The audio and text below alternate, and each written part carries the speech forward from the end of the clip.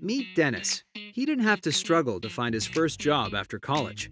In fact, he was already employed before graduating because he did the co op education program at Douglas College.